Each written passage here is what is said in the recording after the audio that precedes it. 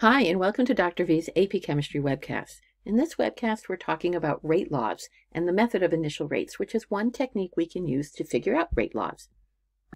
Kinetics is a really important topic in AP Chemistry, and this is a really necessary skill for AP Chemistry students. What do we want to accomplish in this webcast? Well, first we need to introduce rate laws. What are these things? And the idea of the rate constant. We're going to then compare reaction orders and what this means, and use the method of initial rates to determine rate laws. And of course, we'll do several practice problems as we go because I think that's really important. Chemists spend a lot of time talking about reaction rates, and we know from collision theory that the rate of the reaction depends in part on the concentration of the reactants. And in general, we know that when concentration of reactants increases, that reaction rates also increase. But that's too general a statement. We really want very specific quantitative information about this relationship. How does it increase? Does it always increase? What could explain this? And that's really our interest here. So let's that brings us to the idea of rate laws. We can say that the rate is directly proportional to the reactant concentration, and we always use molarity, raised to some power n. So rate proportional to a, the reactant A, raised to some power n. And n has to be determined experimentally. But there's a drawback to this expression, right? It's a proportionality, and that's not going to be very helpful to us. So we're going to want to make it an inequality. We'll do that next. The other thing I want to do before I move on is talk about n raised to some power n. So n can be any integer. It can even be zero. It can be a fraction. So N is a really important thing because it's really what determines the relationship between rate and concentration. So what we need to do is insert a rate constant, which is called K. It's a proportionality constant, to take the proportionality and turn it into an equation. So rate equals K times A raised to some power N. And we call K the rate constant. I do want to point out K is always written as a lowercase, preferably italicized K. Should not be a capital K. It's got to be a lowercase and be careful about that.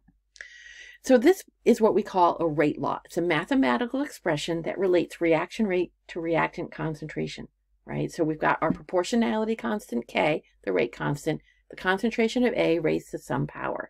And then N is really the most important part here, right? We have to find the value of the rate constant from experimental data. And that's what we're going to be talking about in this whole webcast. And the value of the rate constant really depends on the reaction conditions. And the biggest thing that affects the value of K is temperature.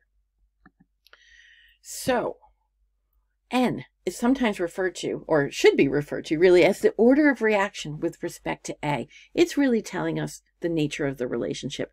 Does it go linearly with A? Does it go with the square of A? Does it go with some other power? The order of reaction with respect to A. And so that's really what N is telling us right? And the value of n has to be experimentally determined. You cannot figure it out any other way. You have to do experiments. And those are called, the, well, one way to do that is the method of initial rates, which is the focus of this webcast. All right. And as I said before, it can be any integer, including zero, and can be a fraction. What I didn't mention before is it can also be negative. Now, before you get all freaked out, in the method that we're using, the reaction order is always going to, almost always going to be zero, one, or two for a particular reactant for the types of experiments that we're doing. And in AP chemistry, we're really going to mostly see zero, one, or two. So this exponent, n, the reaction order, is really telling us what's going on. So let's explore this in a little bit more detail. What does it mean? So when n is zero, we say that it's zero order in that particular reactant. And here's how the concentration depends on it. If it's zero order, if we double the concentration of A, the rate isn't affected at all. We're not limited to just doubling it, but whatever concentration change we make to A, it won't affect the rate. A lot of times we'll see that N will be 1. We call this a first order uh, process in terms of the reactant. So what we might see with a first order process is that when we double the concentration of A, the rate doubles. So it goes linearly with the change in concentration. And the other common one we see experimentally is that n equals 2. We say that it's second order in that reactant. What we see for second order reaction is that when the concentration of A is doubled, the rate quadruples. We go with the square of the change, right? So it's 0, 1, or 2 is the most common outcome of the experiments we're going to talk about. So let's talk about how we can find these rate laws. As I said, we have to experimentally determine them. You cannot assume that it comes from the balanced equation, all right? So we have to do experiments to figure it out. Do not assume it's based on the coefficients. One way to collect the information that we need is to do what's called the method of initial rates. And you have to do a series of kinetic experiments where you systematically change the reactant concentration what you, that you start with and you look at how the rate changes and you monitor the rate and you figure out the relationship and that's what we're going to go through right now some examples of this so here's a potential situation two molecules of A react together to form B I've got three experiments here where I started with different concentrations of A and I looked at what the rate did all right so this is the method of initial rates I only look at reactants when I'm doing this. We don't pay attention to the products at all. And we don't even need to know the balanced equation to figure this out. So let's look at just trials one and two. When I go from trial one to trial two, I see that the concentration doubles in terms of A. And I also see that the rate doubles when I double the concentration of A. So this tells me that since the molarity doubled and the rate doubled, it must be first order in A. 2 over 2 gives me 1.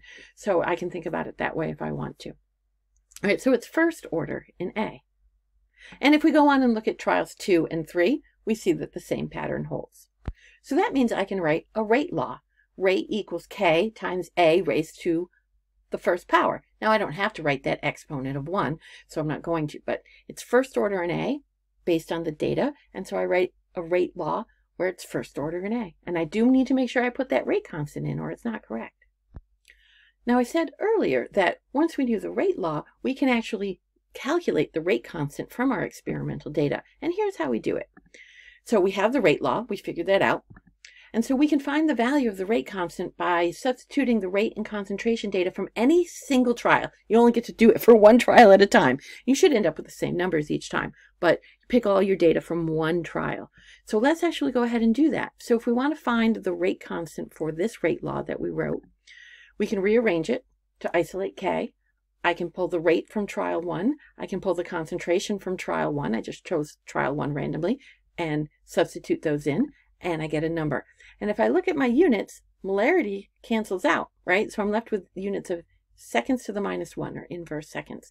We're going to come back and talk about the units of rate constants a little bit more because they can get kind of complicated. But it's also very doable, all right? So we can work them out, but we'll talk about this a little bit more and it is a constant. So if my data is reliable, I should get the same value for the rate constant from any of the three trials. Now, what if there's more than one reactant involved? How do we handle those situations? We absolutely can. All right. So we end up needing to do additional trials. So we can figure out the concentration dependence on A and the concentration dependence on B, and what that does to the rate. Well, We have to do each one for each reactant independently. So we need to do a series of trials where A is held constant and B changes, and then a series of trials where B is held constant and A changes, and look at what that does at the rate. So we just need to do multiple trials. Right? And then once we have figured out the orders for A and B, the sum of those exponents is called the overall order of the reaction. So N plus M in this situation. Now, I said earlier that I was going to come back and talk about units for the rate constants. It turns out that the units depend on the overall reaction order when we want to know the units for the rate constant. So we have to have that rate law first. And it gets a little complicated, so let's summarize it all. All right. So, like I said, the overall reaction order determines the units of the rate constant. If the reaction order is zero overall, which is unusual, but if it were to happen, the units end up being molarity per second. First order reactions are very common, and the units for the rate constant in a first order reaction are seconds to the minus one. Oh, but you want to be really careful here. We're not always going to measure our time in seconds, right? So if your measurements for time were in minutes or hours, it'd be inverse minutes or inverse hours. It's really inverse time that you should be arriving at here. If the reaction is second order overall, it's inverse molar inverse seconds there's a little bit of a pattern here. And if it's third order overall, it'd be molarity to the minus two and then inverse seconds. So you need to know this. I really recommend that AP Chemistry students memorize these because it's a very common question once you've worked out the rate law to ask you what would the rate constant be? What would its value be? And what would its units be? And if you can just write that down, it's so much faster than trying to figure it out. Of course, you can figure this out from the rate law, but you know, if you're in a time crunch, if you're feeling a little pressured because maybe it's, I don't know, a test, uh, memorizing these can be very helpful. Okay, so let's do an example where we're going to use the method of initial rates to figure out a rate law. Here's the balanced equation that we're interested in. And here's the experimental data. So notice I've got trials where the concentration of ClO2 is constant and where I change the, the concentration of hydroxide. And then I've got I've got experiments where the concentration of hydroxide is constant and I'm changing the ClO2 molarity. And then I look at what that does to the rates. All right. So what's the reaction order with respect to ClO2? So to figure this out, we're going to look at trials one and two. Why? Because in those trials, the hydroxide ion concentration isn't changing, but I am changing the ClO2 concentration, right? And in fact, in trials one and two, the concentration of ClO2 doubles, but the hydroxide ion concentration does not change. What does that do to the rate? And if you need to get out your calculator, go ahead and do that. But what I see is that the rate changed fourfold, right? So to summarize, when the ClO2 concentration doubles and the hydroxide ion concentration is constant, the rate quadrupled. What does that tell me? That tells me that this reaction is second order with respect to ClO2. All right, because 4 over 2 is 2 is another way you can think about it. But this would be a nice, concise justification of your answer. Okay, let's go on and do the same kind of reasoning to figure out the reaction order with respect to the hydroxide ion. So again, I need trials where the ClO2 concentration is constant and the hydroxide ion is changing. So for that, I want to look at trials two and three. So if I look at trials two and three, it's very easy to see that the ClO2 concentration is not changing.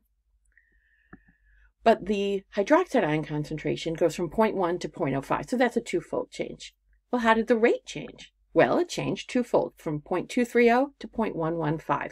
So for trials two and three, when the hydroxide ion concentration doubles, and the ClO2 concentration is held constant, the rate doubles. What does that tell me? It's first order with respect to hydroxide ion, all right? Because well, 2 over 2 is 1. We have a couple of ways we can talk through that. But again, here's a nice, concise justification with my reasoning as to why I decided it was first order. So now that we've done that analysis, we can go ahead and write a rate law. It's got to be second order in ClO2 and first order and OH minus. I actually went ahead and wrote in that superscript 1 for the hydroxide, but I don't really need to, but I did anyway. Why? Because I wanted to highlight it and point out that the reaction is third order overall. All right, so I've got my rate law, it's third order overall. And the next thing we're going to do is to figure out the value of the rate constant. We can use data from any single trial to figure this out. I'm going to use experiment one because that's what I feel like doing, but I would get the same value no matter which trial I picked. So we had the rate law. We wrote that down. I'm going to rearrange it to isolate K, the rate constant, and I'm going to substitute in the rate from trial one and the ClO2 concentration and the hydroxide ion concentration. Just plug that in.